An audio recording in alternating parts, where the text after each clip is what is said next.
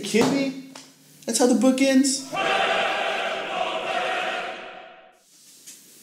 Hey, Matt.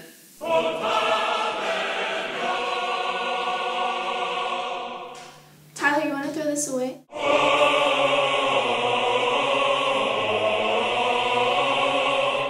Sure.